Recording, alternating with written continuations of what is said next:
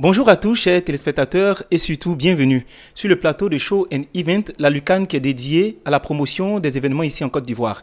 Pour vous autres qui êtes habitués à votre émission, vous connaissez désormais les manchettes. Il s'agit d'un invité qui vient nous parler amplement de son événement et de ce qu'il va contenir comme temps fort.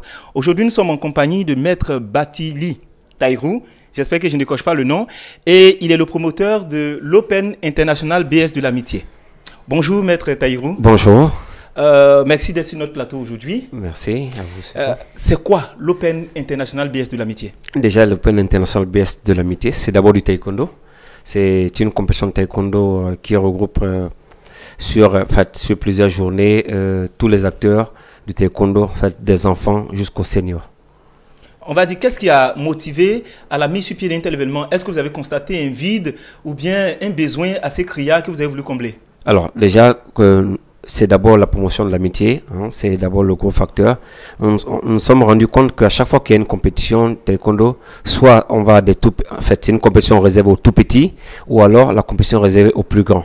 Alors on a voulu, à travers l'Open International BS de l'amitié, regrouper tout ce monde-là, les enfants et les grands, sur une même scène. Nous sommes actuellement à la troisième édition, c'est bien ça? Oui, tout à fait. Quel bilan pouvons-nous tirer des deux éditions précédentes? Oh, je pense que c'est un satisfait total. Euh, de la première à la deuxième édition, on a fait un boom, ça veut dire que démographique de pratiquement 60% en plus.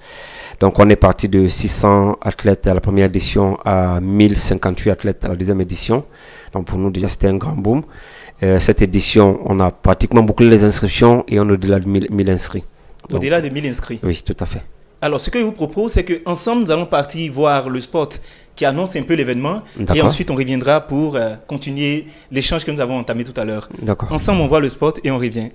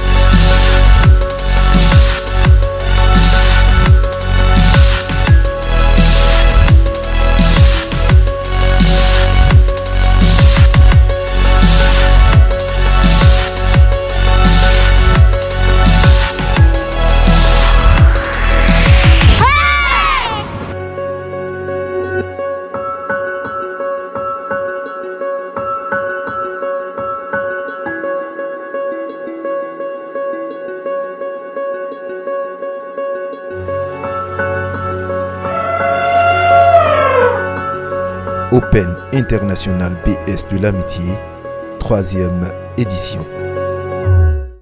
Ensemble, nous venons de voir un spot qui est artistement bien fait. Euh, c'est quoi? C'est vous qui avez diligenté la réalisation, mais c'est l'équipe créatrice qui a juste fait bien son travail? Pour cette année, en fait, vraiment, euh, nous sommes comblés. Hein, vraiment, pour dire que l'équipe réalisatrice a, mis, on va dire quoi, les petits plats dans les grands plats pour nous donner quelque chose de vraiment très bien. Pour cette troisième édition de l'Open International BS, combien de pays attendons-nous et combien de participants en tout? Vous avez avancé un chiffre, mais à part ça, ça peut encore augmenter ou bien c'est bouclé?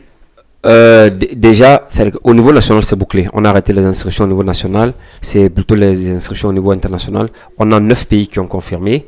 Neuf pays, entre autres le Gabon, euh, le Bénin, le Togo, euh, le Sénégal, euh, le Mali, euh, qu'est-ce que j'ai dit encore euh, Le Cameroun, oui, le, Cameroun aussi a, confirmé son arrivée. Le Burkina Faso, voilà. Donc entre tous ces pays-là, on a neuf pays qui ont confirmé.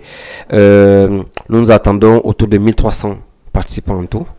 Voilà, donc les inscriptions sont ouvertes jusqu'à, on va dire, le week-end prochain, uniquement pour les délégations internationales.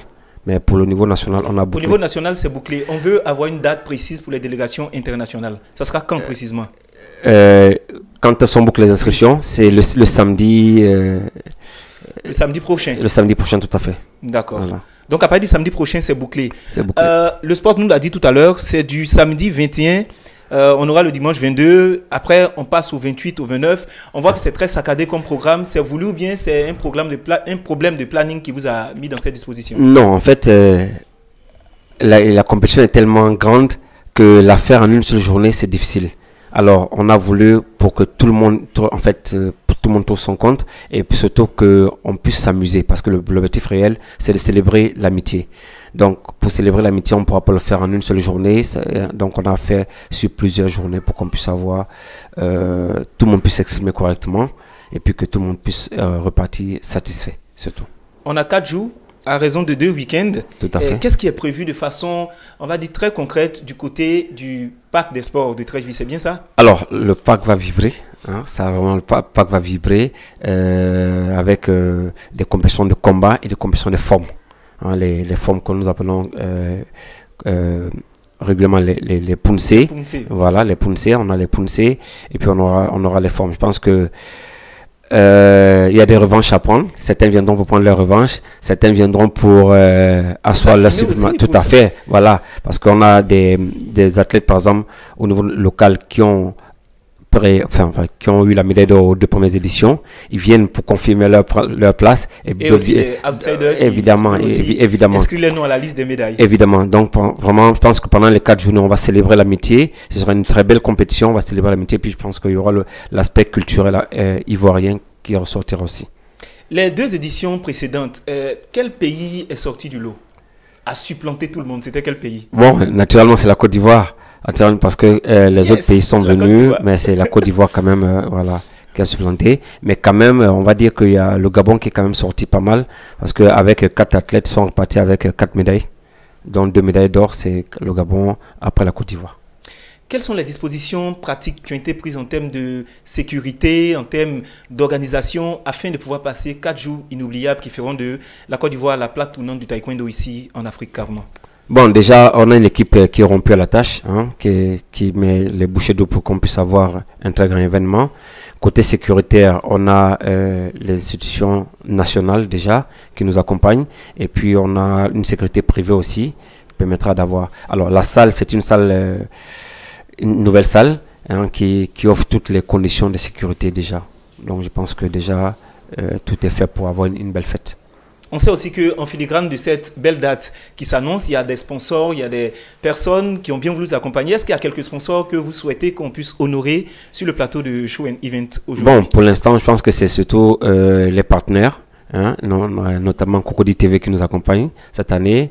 On a fait Bâti Sport Hein, qui, est, notre partenaire, euh, notre premier partenaire privilégié de la compétition. Et on a la Fédération Vantécon qui nous accompagne aussi. Voilà. Donc pour l'instant, c'est vraiment ceux-là qu'on souhaiterait remercier. On aurait bien aimé discuter toute la journée, mais il faut quand même arriver à un certain moment, euh, arrêter l'échange. Qu'est-ce que le téléspectateur qui est assis chez lui à la maison, qui est pratiquant du taekwondo ou qui n'est pas pratiquant mais qui est furieux de ce art martial-là, qu'est-ce qu'il doit retenir de votre passage sur le plateau de Show Event aujourd'hui? Alors, ce qu'il doit retenir, c'est que nous aurons deux week-ends, deux week-ends de fête. Deux week-ends de fête, deux week-ends dans lesquels on verra les, les, meilleurs, en fait, les, meilleurs, la crème hein, du taekwondo africain, parce que c'est pas rien que la sous-région africaine qui sera là pendant deux bonnes semaines. Donc je pense que ne faites pas raconter l'événement. Venez, venez voir, venez toucher de votre doigt un événement grandiose. Ah, juste avant de terminer, j'avais carrément oublié. Quelles sont les différentes catégories qui seront prises sur le tatami? Alors, on, ira des poussins. Au niveau des, combats, on ira des poussins. Donc, les poussins, c'est des enfants de, de 4 à 5 ans jusqu'aux seniors. C'est les seniors, on va jusqu'à 35 ans au niveau du combat. Et puis, au niveau des, des donc les formes, on ira de, des cadets 10 ans jusqu'aux masters les plus de 65 ans. Donc, pour dire que vraiment, c'est toutes les générations euh, qui seront, qu'on s'appelle, euh, en attraction pendant ces deux semaines.